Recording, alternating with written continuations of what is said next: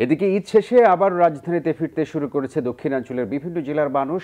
চাপ বাড়ছে বাংলাবাজার আর দৌলতদিয়া ফেরিঘাটে। ঈদের আগে যেতে না পারা অনেকেই এখন যাচ্ছেন বাড়িতে। আবার রবিবার থেকে খুলছে অফিস আদালত। কাজে যোগ দিতে রাজধানীমুখী কর্মজীবীরাও ঈদের দ্বিতীয় দিনেই শিমুলিয়া বাংলাবাজার নৌরুটে মানুষের ঢল। সকাল থেকে উভয় ঘাটে যাত্রীর চাপ ছিল চোখে পড়ার মতো। শিমুলিয়া ঘাটে পণ্যবাহী ট্রাক না থাকলেও বেড়েছে ব্যক্তিগত গাড়ির সংখ্যা। পারাপারে অপেক্ষায় প্রায় চার শতাধিক প্রাইভেট কার। এদিকে রাজধানীমুখীদের চাপ রয়েছে দৌলতদিয়া পাটুরিয়া ঘাটেও।